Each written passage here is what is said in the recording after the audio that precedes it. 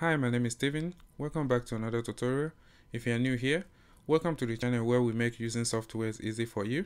In today's tutorial, I'm going to be showing you how you can remove green screen in DaVinci Resolve 16. So let's get started. The first thing you need to do is to open DaVinci Resolve.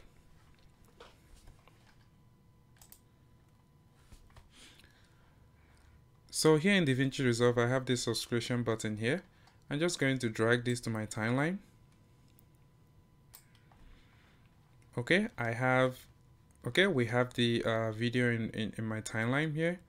So if I play the video, you can see that it's right there in my timeline. To get rid of the background, what we need to do is to head over to Fusion. And once we're inside here in Fusion, with the media window selected, hit shift space and type Keyer.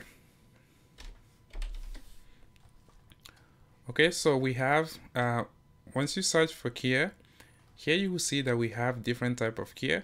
We have the Chroma Keyer, Delta Keyer, Difference Keyer, Luma Keyer, Ultra Keyer, but I prefer to use the Delta Keyer. They're basically doing the same thing, but you can get away with using any of them. But I prefer to use the Delta Keyer, so I'm just going to select the Delta Keyer and hit apply. So with the Delta Keyer selected, all you need to do is to head over to Inspector tab. If you don't see this Inspector tab here, just click on Inspector over here. And from here, select the eyedropper and drag it select and drag don't click it and drag it right here on the green background and release. You can see that the green background is gone. So guys that's basically how you remove green background from your videos. You can see that it's really easy and simple.